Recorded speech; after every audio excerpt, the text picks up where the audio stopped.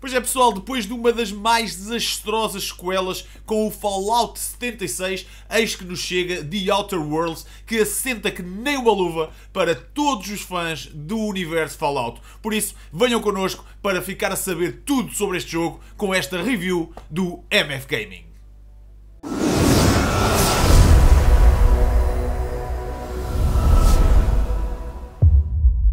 Ao contrário de Fallout 76, que nos apresentou um jogo vazio, sem muita história, com NPCs sem personalidade absolutamente nenhuma, eis que The Outer Worlds é exatamente o oposto. Uma história super interessante e personagens super carismáticas.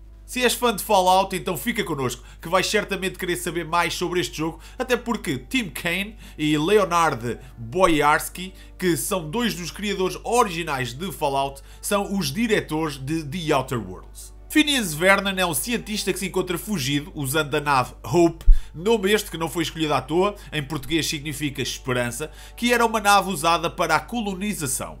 Neste processo, rapta o personagem com que jogamos, nós seríamos as pessoas responsáveis por colonizar o sistema Alcyon. Mas, tal como no Alien, fomos esquecidos na nave numa espécie de coma induzido e estaríamos perdidos pelo espaço há já alguns anos. Phineas Vernon precisa de fugir e nós temos de fazer tudo para salvar os nossos colegas que se encontram na nave. E com isso, vamos então conhecer um enredo que envolve vários planetas.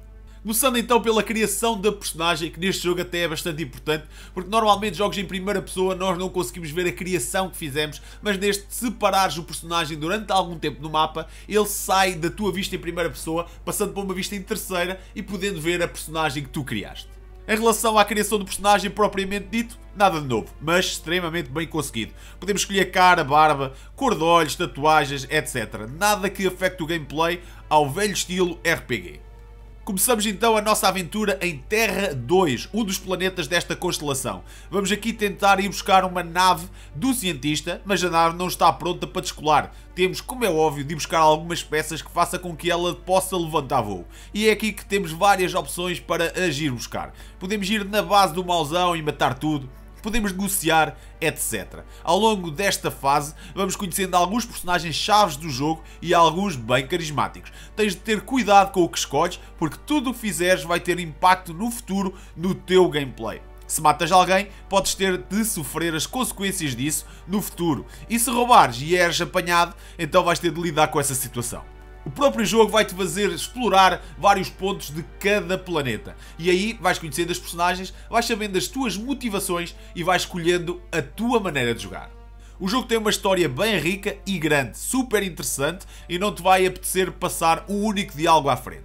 The Outer Worlds oferece tudo. Resolve os problemas à base da bala, à base do diálogo, à base do stealth, tudo está bem equilibrado. Neste jogo, os teus companheiros podem ou não acompanhar-te, é uma escolha tua. Para eles te seguirem, tens de seguir a história e ficar a conhecer cada um deles. Eles podem ajudar-te, mas podes, ao sair para uma missão, escolher quais vêm e quais ficam. Tu é que comandas e tu tens o controle para eles te seguirem ou não. O companheiro cai durante uma batalha, ele só se irá levantar no fim do combate, se tu matares todos os restantes inimigos. Aqui achei que o impacto poderia ser maior. Estes companheiros têm uma história por si mesmos e podem ser responsáveis por te darem side missions. E desenganem-se se acham que as side missions têm uma história pouco interessante. Antes, pelo contrário, tem uma história bastante rica que ainda por cima completa em algumas partes a história principal. E logo aí vais acabar por fazer uma ou outra, uh, se não fores muito relacionado com side missions, mas vais acabar por fazê-las porque a história te vai prender. Aqui também não vai faltar suspense na história, mas não pensem que isto é uma história extremamente séria. Obviamente que também tem humor pelo meio. O gráfico está bonito, mas sofre um pouco com o frame rate que demora a abrir texturas, principalmente quando chegamos a uma zona nova. A versão de PlayStation 4 que tivemos a oportunidade de jogar sofria desse mal. Este tempo de abertura de frames reduz na PlayStation Pro, mas ainda está presente. Não é preocupante, mas está lá. Outra coisa que podia ser melhorada é a animação quando sobe escadas, que basicamente não existe. Ele não mete a mão para subir, ao velho estilo do CS. Gostava de ver isto num jogo de 2019.